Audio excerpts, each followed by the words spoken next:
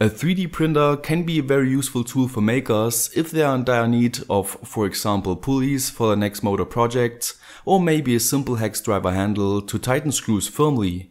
But once you need to print something big, like this iron core replica, the print time suddenly jumps up to 10 hours and you realize that the printer can get quite loud while moving the extruder around and also takes up a lot of space on your workbench.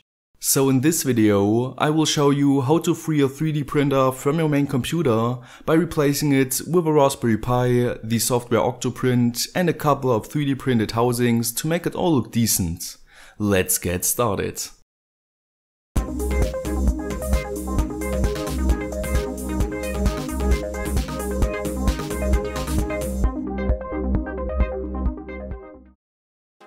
First off, I grabbed the Raspberry Pi 2 from my stack of single board computers and plugged in a Wi-Fi dongle as well as a camera module in order to monitor my 3D prints later on and also to create time lapses.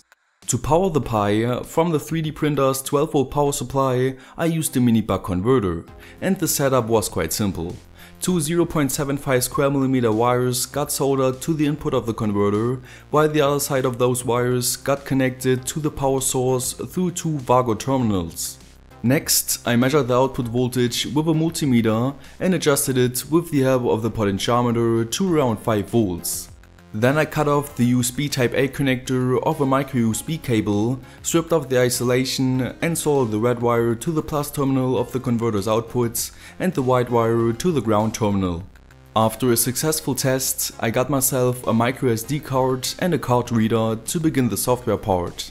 For that, I downloaded the archived image file from the Octoprint website, extracted it and used Win32 Disk Imager to install it on my SD card. Afterwards, I changed the Octopi network txt file by adding the access information of my wireless network. Then I stuck the SD card into the Pi, connected my 3D printer and gave the whole system power. Since all the status LEDs are lighted up in the right way, I started PuTTY and connected to the Pi via an SSH connection. By entering the Raspbian configuration, I expanded the file system and overclocked the SBC a bit before I did a final reboot. And afterwards, the Octoprint setup was complete, which can be confirmed by entering the IP address of the Pi in a browser. This should open up the welcome screen which wants you to create a secure access account. I then changed the layout language to English, connected to my printer through the serial ports and played around with the X, Y and Z control and the camera to see whether it all functions correctly. Now we could stop here and just use a setup like this, but the position of the camera is not fixed yet and the Pi should be mounted onto the printer. That is why I visited Thingiverse in order to find a Raspberry Pi case and also a fitting camera mount. For all the 3D prints, I used a layer height of 0.2mm and the recommended slicer settings from the manufacturer of my printer. This resulted in a print time of roughly 2 hours for the top and bottom piece of the Pi case. And since both models had a pretty simple shape with no overhangs whatsoever, the machine had no problems during the printing process. But I still had to remove quite a lot of excess plastic strings afterwards, which were created while the extruder moved from one side to another through mid-air. Nevertheless, both prints look quite neat, so I used small wood screws to secure the board to the bottom sides and M3 bolts to join both sides together. Afterwards, I printed the back and front side of the camera mount as well as the masthead. But the base of this mounting composition does not really work for me. So I measured the diameter of the aluminum rods and the distance to it for fitting viewing spots and used 123D design to create my own custom base which I printed out as well. Of course you can find my design and all the electronic components I used during this small project in the video description. After I removed the plastic strings of those parts, I performed a successful test fit and continued by gathering two 0.5 watts wide 10mm LEDs and four 22 ohm resistors. By putting two of them in parallel, they can be used to power one LED from a 5V power source.